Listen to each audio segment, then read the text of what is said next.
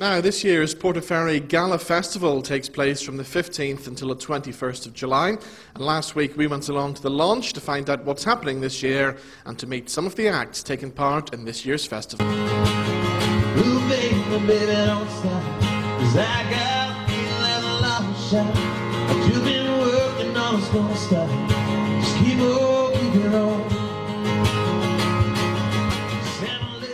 So today we're in Portaferry for the launch of the Portaferry Festival. And who's the first person that I find? Alex Best. How are you? I'm fine, Robin. And you? Good to see you down here. So being down here must bring back lots of good memories for you.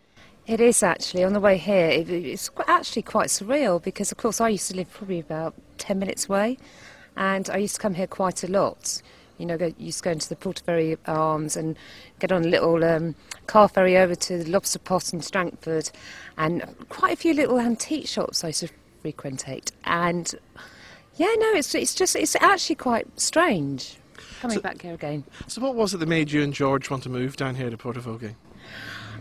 Um, at the time, George had a few of his problems, and we were moving away from Chelsea, which is the buzz of the centre of London, to get away, really. So moving into Belfast would have been kind of like a bit too much of the same of the same. So we chose this area for, you know, of course, the coast, the sea, and the countryside, a mixture of both. And um, no, it brings back some very happy memories, I must say. You know, walking my dog on the beach, horse riding over the, you know, the countryside. It, it, it actually made me quite tearful coming through today. You know, past all the old, old spots. We're talking about some great restaurants coming down as well that I didn't even know existed. There's loads out here. Yeah. And the great thing is living uh, living around here. The produce was unbelievable. You know, there's, of course, you're, you're right in Portaferry and of course Portavogie where we used to live. You know, the seafood was amazing, and the produce and and, and the food was absolutely fantastic. So we used to go back to London and think we're being ripped off. The food's absolutely rubbish. Not as good as here, definitely.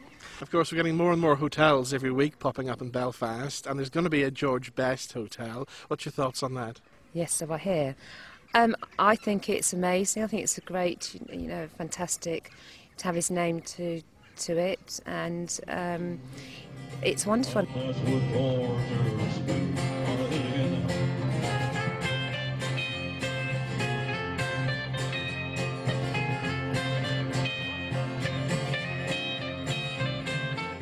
JP, the Portaferry Festival is coming up very soon. Are you looking forward to it? Can't wait. Well, if we get a day like that, we'll be doing okay.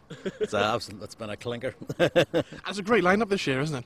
oh well, listen to what we've just listened to there now. Like it sounds like it's going to be uh, one hell of a week. Like you know, so uh, between Bagatelle, uh, good Ritchie Remo there, like those two young guys, I forgot their name, but they sounded amazing as a two piece. and Like Mollie, yeah. Orlaith and Mollie, they sounded fantastic as well. Like so, yeah, I think Portaferry's in for a treat.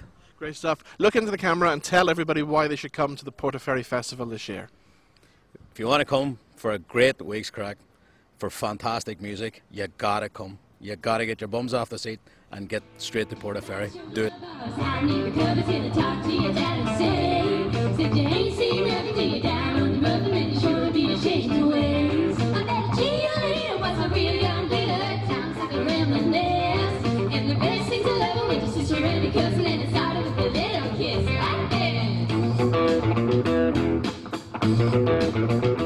Ken, tell me this. Are you looking forward to this year's Portaferry Festival? I am looking forward to it, and I have to say, what an incredible day today we had here since we arrived. I got the ferry over, the sun is splitting the stones. Fantastico. Loved it. Have you played Portaferry before? We played in a, in a hurling club in Portaferry, but that's a long time ago. That could be 12 years ago. So Bagatelle, 40 years on the road, and you're still rocking like crazy. I saw you recently in the Europa Hotel, and it was an amazing night. I feel like Bagatelle's about eight or nine years. I can't find 40 years in it at all. You know what I mean? Yeah. Just can't. I just can't. Uh, but I have to say, I've always loved rocking, and it's great to be still able to rock at this stage. I still love rocking as well, not just able to do it, but just still enjoying it. You know. And you know things are good when people like Nathan Carter are starting to cover your songs now as well, don't you? Thank you, Nathan.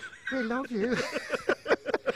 You know what? I often feel like we're like flared trousers. If you hang around long enough, you come back into fashion. That seems to be the way it is.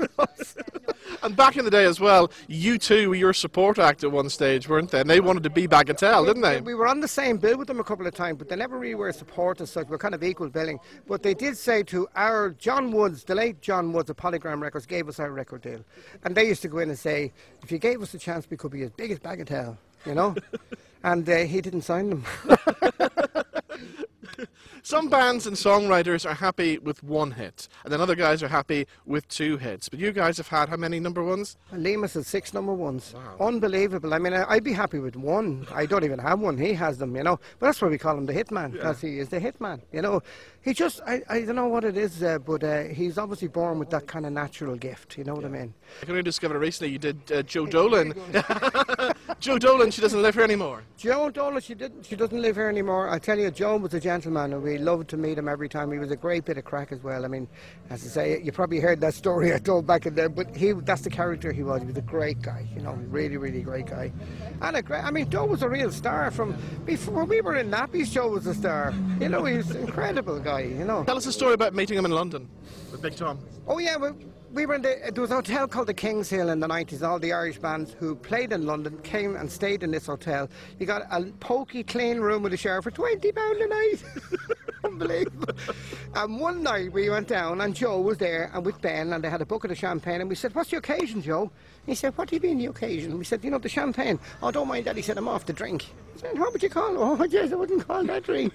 and then about five minutes later, Tom comes down the stairs and goes up to the bar. We're in the corner. He doesn't see us. And Joe said, watch this. And he sings over Tom, Four country roads wind into a town in County Galway. And Tom looks over and sings back, It's you, it's you, it's you. and I have to say, what a great man Tom, uh, Big Tom was. When I, I'd never met him until that night. And I always thought he was kind of an austere man because he was really shy, seemingly, and big. But in smaller surroundings, he was life and soul to party. He was a great guy. Ah, brilliant story. Ken, just look into the camera and tell us all why we should come to the Portaferry Festival this year. Because you'll see us. no, no, I tell you what, this is a great festival. There's great, great acts on here. There's a great atmosphere here because we're just uh, down the road from a beautiful place, which is the, the, the, the estuary there. You know, the, the Strangford Lough, as they, as they call it. I've actually flown over this, and I mean, I, I flew on a microlight, you know. It's the motorbike of the air, and it's incredible to see some of the wrecks and all that are out there. So, I'll tell you what, I've never, we, we played here once in a, in a hurling club, but I've never actually integrated around here like I have today. It's fantastic. You're going to love it. You're going to love all the acts that are on, and keep on rocking in the free world.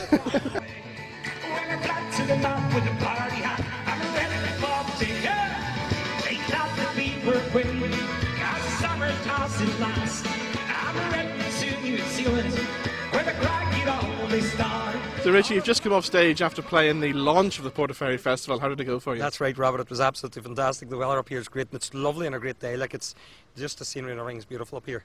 and then, of course, you're coming back to play the real thing. It's our third year coming here now, and uh, we're on Tuesday, the 17th of July.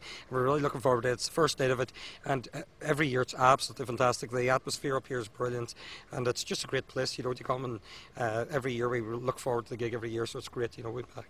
Are you promoting any new material at the minute? That's right. I think we've about six singles lined up now over the summer to come. So uh, we'll be launching uh, our next single very, very soon, and uh, there, there'll be ones following then every four or five weeks. So we're looking forward to all the brand new material. You know, coming out for the summer and that. And, of course, the song you have to do at every gig, Hit the Diff, has been amazing for you, hasn't it? That's right. Hit the diffs flying, and you know, uh, it's it's just great. There's children loves it, and you know, we do different types of shows this time of the year, and it's it's great seeing them all singing along and all the family, everybody. It's one for everybody, you know.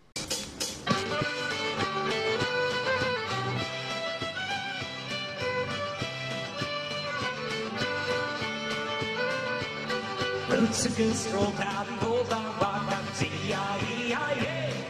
I met a little girl who stopped to talk. A fight someday, I And he asked her friend, what's a fella to do? Cause her hair was black